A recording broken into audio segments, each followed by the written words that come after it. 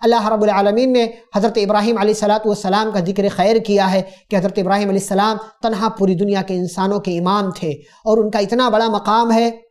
کہ اللہ رب العالمین نے جہاں انہوں نے کھڑے ہو کر خانہ کعبہ کی تعمیر کی، اس جگہ کو مسلح بنا دیا اور تمام مسلمانوں کو اس بات کا حکم دیا کہ جب خانہ کعبہ کا طواف کریں تو طواف کرنے کے بعد وہ مقام ابراہیم کے پاس جا کر دو رکعت نماز ادا کریں۔ پھر اس کے بعد ان کی دعاؤں کا تذکرہ کیا ہے کہ انہوں نے صرف اپنے لیے دعا نہیں کی، بلکہ خانہ کعبہ کے لیے، مکہ شہر کے لیے، امن و سلامتی کے لیے، وہاں کے باشندوں کے لیے دعائیں کی ہیں۔ اور یہ دونوں یعنی باپ اور بیٹے حضرت ابراہیم اور حضرت اسماعیل علیہ السلام نبی اور رسول ہونے کے باوجود اللہ کہتے ہیں کہ جب انہوں نے خانہ کعبہ کی تعمیر کر لی تو کہا، ربنا تقبل منا انکا انت السمیع العلیم کہ اللہ ہم سے ہمارا یہ کام قبول کر لے۔ اس لیے کہ ہمیں نہیں معلوم کہ ہم جو نیکیاں کرتے ہیں وہ قبول ہوتی ہیں کہ نہیں ہوتی ہیں، یہ ہمیں نہیں معلوم۔ اس لیے کوئی بھی نیک کام کرے تو ہمیں اس کی قبولیت کی اللہ سے دعا کرنی چاہیے۔ ربنا تقبل منا انکا انت السمیع العلیم کہ اللہ ہمارا یہ نیک کام قبول کر لے۔ ایسے ہی اور ویڈیوز بنانے میں ہماری مدد کریں۔